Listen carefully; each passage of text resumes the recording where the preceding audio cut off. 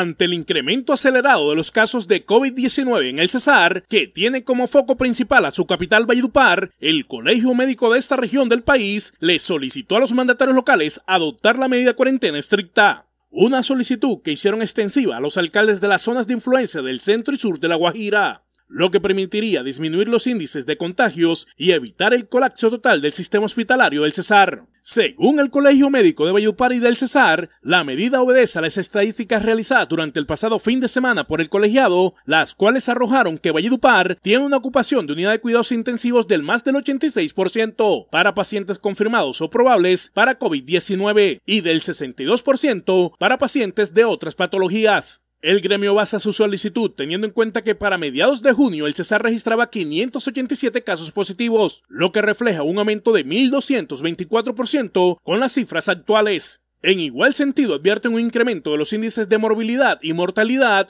en infectados asintomáticos reportados los últimos días en el Cesar, por lo cual con la cuarentena se busca salvaguardar la salud, la vida de todos los habitantes y del gremio médico de la región. En este mismo contexto, el colegiado solicita a las Secretarías de Salud Municipal y Departamental vigilar el cumplimiento de las medidas de bioseguridad en las diferentes clínicas y hospitales debido al alto número de infectados del personal de la salud como médicos, enfermeras, auxiliares e instrumentadores ya que a la fecha 70 médicos han sido contagiados de COVID-19.